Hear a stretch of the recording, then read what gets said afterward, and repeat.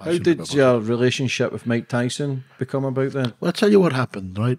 I left school, like I said, when I was 14. I was on the doors at 15 and I won Irish titles. And I got Bouncer picked- at 15? Yeah, I was on the doors, yeah. Fuck's I sake, know, yeah. But I was big for my age, James. I was How big, for my age.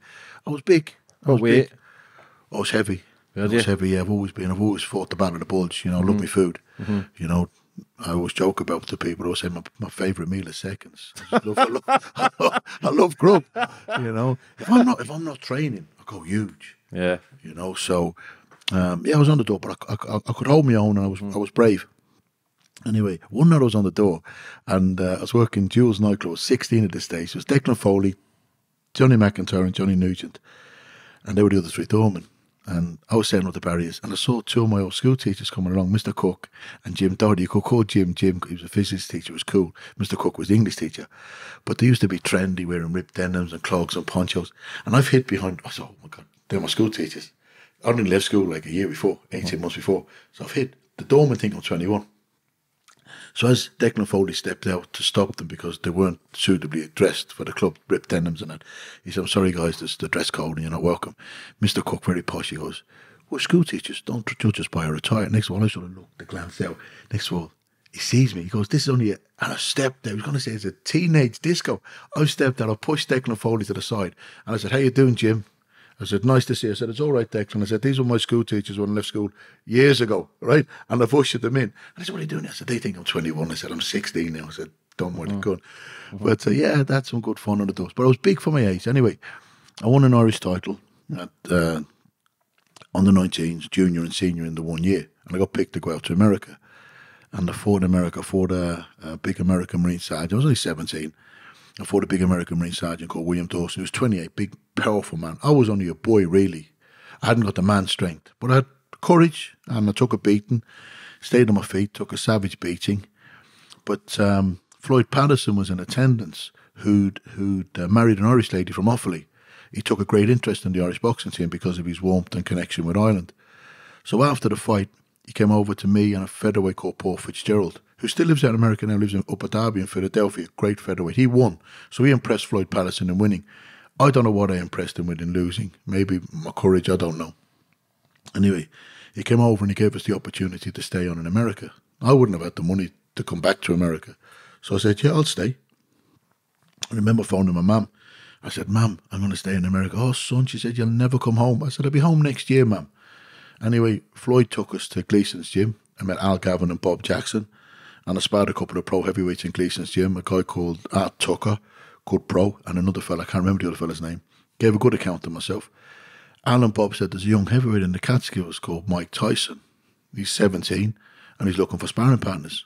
I'd never heard of Mike Tyson. I didn't know who he was. He was knocking men out left, right, and centre. He was a phenomenon, you know. But I was just so happy to hear that he was 17 years of age, mm-hmm. same age as me. As a matter of fact, he's seven months younger than me. So when I got to the Catskills with Alan Bob, I was introduced to Cus and Camille and Manny and Tom Patti and Jay Bright and other people there. Then I met Mike. He was younger than me, smaller than me, and he spoke with a bit of a lisp. And I thought, I'm going to batter you. I really did. The madness of man. Hmm. I thought, I can't, oh my God, this is going to be so much fun and easy.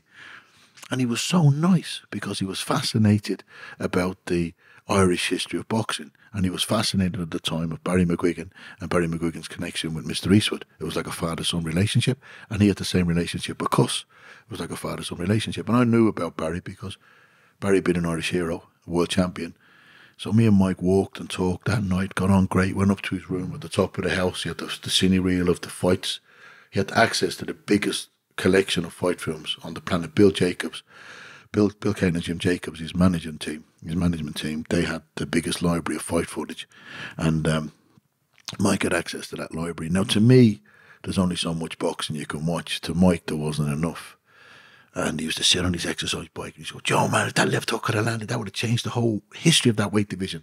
And I said, oh, you know, but we walked and talked that night, watched some fights, and got on really well. I was actually starting to feel sorry for him, James. I thought, Was he lonely? No, he wasn't. He wasn't lonely because he had he had Cus, you know, who was like, Father figure. yeah, he wasn't lonely. He had, the, he had Jay and Tom, his two stepbrothers, you know, and Camille and Manny's step parents as such, you know, Cus's family, he- he- and it was beautiful. Up, up in the Catskills, Rip Van Winkle was meant to have slept up there for 40 years. It's so tranquil and peaceful. And it's idyllic for a man that wants to train and set his mind on, on what he wants to achieve. And Mike had set his mind on being a champion of the world. Cus had seen it in him at a young age in the Young Offender Centre. He said, that boy's going to be the champion of the world. And Cus had already took Floyd Patterson and Jose Torres the world titles. Cus knew his boxing. Anyway, the next morning I slept that night, slept really well. Next morning we got up and we ran, me and Mike, and jogged for about half a mile. Then he took off like a gazelle. And I thought, that's it, you tire yourself out because I'm going to batter you later on. right? Came back, had a bit of breakfast, went to bed till midday, got picked up then to go to the to the gym for sparring. And suddenly these big, powerful men appeared. So I thought, where have they all come from? Like, you know, but I thought they're all going to box each other, and us two boys are going to box each other, you know. We're on the minibus. They're all very somber. I'm relaxed. I'm so happy. I'm comfortable. I'm getting minded. I'm being well looked after. I've had a great night's sleep. Beautiful environment. I'm feeling comfortable with the guy that I'm going to box with, that I think I've got his measure. But these big, powerful men are sitting on the minibus, all like as if they were going to the gallows. But they knew what was coming. Stupid Paddy hadn't got a clue what was coming. You know, I didn't know what this guy was capable of. Got to the gym, warming up, shadow boxing. Cus goes, okay, bandage up, bandage up, glove up. I'm looking around. Mike's in the ring, and he had his shirt off, and he was pacing the ring like the lion in the cage when you look at that lion, and he's looking out at his prey, and no sparring partners were his prey.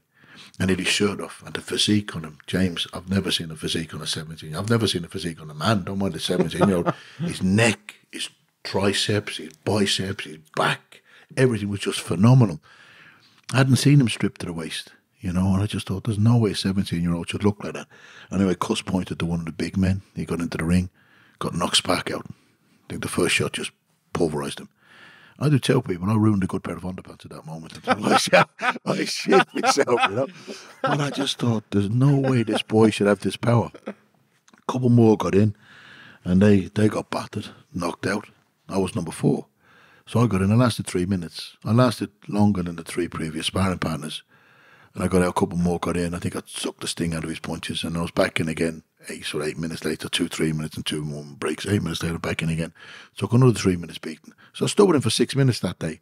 But the madness in me, because I think the box, you've got to have that little bit of madness in you anyway. course. Right?